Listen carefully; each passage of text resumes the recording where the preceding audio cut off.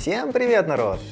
Вы на канале Будь Мужиком, и сегодня я хочу с вами поговорить про щит сигнализации. Это щит сигнализации общей котельной автоматики. А извещать у нас будет о том, что произошла авария по одному из параметров. Параметров здесь этих буквально целая куча, и сейчас мы с вами их разберем. Как вы видите на щите у нас целая куча параметров. Несколько лампочек у нас тут даже не подписаны, то есть мы можем сюда еще доподключить некоторые датчики. Щит у нас открывается очень просто, вставляется ключик, поворачивается и в общем-то щит открыт. Эта дверца тоже очень легко снимается, буквально вот так вот раз, и он из своих креплений выходит.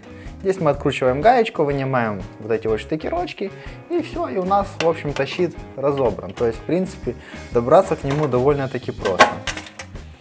Внутри он представляет собой вот такую вот вещь. То есть здесь плата управления, здесь плата управления, здесь плата управления. Вот. И для чего все это нужно, сейчас мы с вами разберем, ребят. На лицевой части мы видим срабатывание, по каким датчикам у нас будет по этому счету сигнализации. Ну, в данном случае это высокая температура воды в котле, низкое давление воды в котле, давление газа выше либо ниже нормы, загазованность котельной, пожарная сигнализация, отказ теплогенератора, тревога охранной сигнализации. Ну и также в этом щите у нас еще добавлена авария насосов. Три датчика у нас на этом щите идут запасные. Мы можем сюда вывести все, что мы захотим. Например, это может быть тот же самый датчик протечки. Мы, например, его ложим на пол, если он там замыкает свой контакт, то срабатывает щит сигнализации и вырубает клапан-отсекатель. То есть фактически задача данного щита при любой аварии отключить подачу газа на котельную. Далее мы видим низкая температура помещения. То есть э, здесь в самой плате встроен датчик. Это такой своеобразный терморезистор. Если температура в помещении со щитом падает ниже 5 градусов Цельсия, то загорается лампочка аварийной сигнализации, что температура в помещении ниже заданного уровня. И также само загорается лампочка при превышении температуры выше заданного уровня. В данном случае это у нас 70 градусов. Для того, чтобы терморезистор пришел в нормальное состояние, эта лампочка выключилась, надо нормализовать температуру. То есть должно быть выше 5, менее 70 градусов Цельсия. Далее на мордочке мы видим нарушение электроснабжения. Здесь у нас есть такой своеобразный тумблер, ну вы можете глянуть в инструкции. Если мы его активизируем, то у нас щит сигнализации анализирует наше состояние сети. То есть получается, если у нас есть, к примеру, какое-нибудь чередование фаз, мы можем этот тумблер включить и при чередовании фаз будет отключаться электроснабжение. Также у нас есть управление клапаном и сброс-тест. Управление клапаном, эта кнопочка нужна для того, чтобы отключать клапан-отсекатель вручную. Кто не знает, клапан-отсекатель у нас ставится обычно на вводе в котельную на газопроводе. Соответственно, если мы нажимаем на эту кнопочку, то подача газа прекращается на всю котельную. Кнопочка сброс тест нужна для того, чтобы загорелись все светодиоды, то есть мы проверяем исправность всех светодиодов, а также она нужна для того, чтобы проверить, сбросилась ли ваша авария. К примеру, у вас работал щит низкое давление воды в котле. Вы подкачали давление в котельную, лампочка у вас горела постоянно и был постоянный сигнал, такой пи длительный. Если вы нажимаете на кнопочку «Сброс тест», нажимаем раз, все светодиодики загораются и авария пропадает. Но в том случае, если авария устранена. Если, если авария присутствует, то лампочка продолжит гореть постоянным светом. Лампочка питания у нас горит в том случае, если у нас питание идет от сети. Если у нас идет питание от аккумулятора, то лампочка питания горит уже не зеленым, а желтым цветом.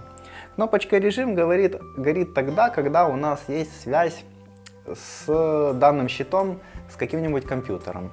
Э, наш щит сигнал 1 можно сообщить в общем-то, с каким-либо другим интерфейсом через систему Modbus. То есть, если система Modbus у вас подключена и режим системы в порядке, у вас горит вот эта вот лампочка режим. И есть у вас еще тут такой вот тумблерочек. Это у вас охранная сигнализация. Ну, конечно, охрана это такое, в кавычках можно сказать, сигнализация. Почему? Потому что это, в общем-то, очень такая дурацкая сигнализация. То есть любой дурак, извините, может ее выключить. Вы ставите тумблер, например, на охрану, вот, посередине, клоц поставили. У вас есть 20 секунд, чтобы выйти из помещения. Вы так побежали, короче, выбежали из помещения, бац, закрыли дверь, о, сигнализация у нас сработала, ну, поставилась на сигнализацию, все в порядке, все классно.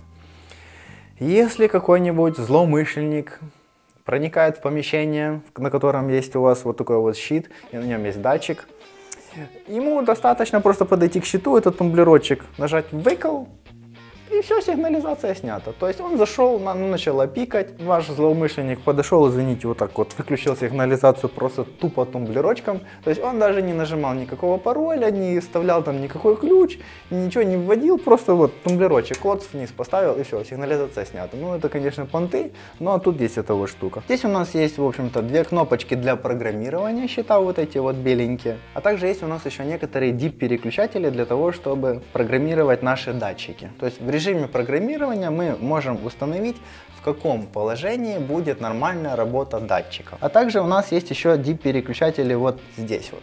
То есть если мы меняем положение вот этих вот переключателей, то меняется, в общем-то, грубо говоря, и тип датчика. То есть, к примеру, мы подключаем вот датчик D1 берем, вот подключаем сюда и сюда. И, к примеру, в этом положении DIP переключателя он у нас нормально закрытый.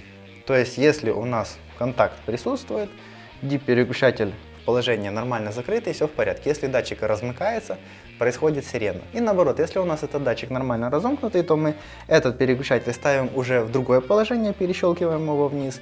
И, соответственно, сработает сигнализация, когда он уже замкнется. Ну и так же самое, в общем-то, с любым датчиком. Перечень датчиков вы можете увидеть вот здесь вот, это все, в принципе, подписано. Нормально открытый или нормально закрытый. Тут вы выбираете на вот этих вот тумблерочках. Подробно, как оно программируется, вы можете посмотреть в инструкции по данному счету. Пока что программированием мне еще не доводилось заниматься, но программируется вот этими вот DIP-переключателями и кнопочками. С этой стороны мы подключаем с вами датчики нашей котельной. С этой стороны мы с вами подключаем линию, то есть есть у нас линия связи со щитом сигнал 2. То есть, грубо говоря, сюда мы можем подключить еще один такой же самый щит-сигнал, но он уже будет просто чисто информационный. И вот этот вот информационный дублирующий щит мы можем вынести куда-нибудь в диспетчерскую. К примеру, вот этот вот щит у нас стоит непосредственно рядом с датчиками в котельной, а диспетчерская находится где-то там в 10 километрах. Вот мы 10 километров провод, например, тянем, ну это образно говоря. Вот, и ставим там дублирующий щит. Соответственно, если мы там в 10 километрах увидели, что тут сработал щит, потому что он повторяет все сигналы, например, низкое давление воды, то вы 10 километров ведете, бежите пробежечку вот сюда вот, в котельную, в котельную устраняете аварию, сбрасываете кнопочкой сброс тест, и все, все в порядке, жизнь налажена. Также у нас здесь есть подключение сирены, то есть увага, это у нас вот эта вот лампочка СЗО, это у нас сирена, которую можно подключить, которая будет у вас срабатывать вместе со щитом сигнализации. То есть, если вам недостаточно противного писка от, щи щита сигнализации, вы можете еще себе какую-нибудь противную сирену, так, чтобы вам было вдвойне противно это все слушать. Потом здесь еще есть котел МН, то есть здесь вы можете подключить какой-нибудь там контакт котла, например, по аварийной какой-нибудь ситуации. К примеру, котел вышел на аварию, у вас тут же щит начал пищать, и если вы хотите, то еще может упасть и клапан отсекатель, и это сечевый МХАС еще. Также сюда можно подключить насос, э, клапан-отсекатель, как вы уже заметили, тоже сюда подключается, как нормально открытый, так же самое и нормально закрытый, смотря на какие контакты вы его подключите. И сигнализатор загазованности также можно сюда вывести. То есть тут уже получается связь у вас не сигнализатора загазованности с клапаном напрямую, а через щит. То есть сигнализатор загазованности вы выводите на щит, а со щита уже выходит напряжение на клапан-отсекатель. То есть если он у вас нормально закрытый, то он постоянно будет запитан у вас со щита. Если он у вас нормально нормальное открытие, то при срабатывании сигнализатора загазованности будет подано питание на клапан-отсекатель, и он у вас закроется. Также здесь наверху вы можете увидеть блок питания. Этот блок питания нужен для того, чтобы питать наш аккумулятор. В основном сюда ставят 7-амперные аккумуляторы, и этот блок питания их запитывает. Э, то есть, если у вас аккумулятор разряжен, то у вас блок питания его заряжает. Если аккумулятор у вас заряжен, то при отключении света у вас щит сигнализации будет работать от аккумулятора. В новых версиях этого щита у нас есть еще отсечка. Если у нас падает напряжение ниже 11 вольт, то просто загорается лампочка аккумулятор разряжен. Если падает напряжение ниже 10 вольт, то для того, чтобы сохранить жизнь этому аккумулятору, у вас плата блока питания, в общем-то, отключается от самого аккумулятора. Но в старых версиях этой отсечки нету, поэтому в основном все аккумуляторы потом дохнут, а вместе с ними и эти платы, как и случилось с этим щитом. А, и здесь вот еще сзади, в конце у нас есть еще 4 клеммочки. То есть это у нас сюда подключаются 3 фазы и 0. В общем-то, 3 фазы подключаются чисто для того, чтобы мы могли их анализировать, если у нас чередование фаз. И при чередовании фаз, при включении определенного тумблера, у вас щит сигнализации будет отсекать питание. Так что, если вы считаете, что я вам рассказал какую-нибудь интересную информацию и вам это в жизни пригодится, то ставьте лайки. Если вы считаете, что я вам какую-то ерунду начесал, ставьте дизлайки. Всем пока, ребята, и до новых встреч!